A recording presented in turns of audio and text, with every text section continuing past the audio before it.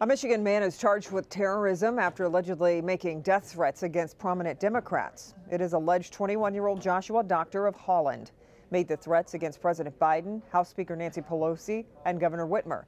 The threats were posted on a social media site called iFunny. Docter is charged with one count of threat of terrorism and one count of using a computer to commit a crime, both 20-year felonies. He was arraigned today after turning himself in.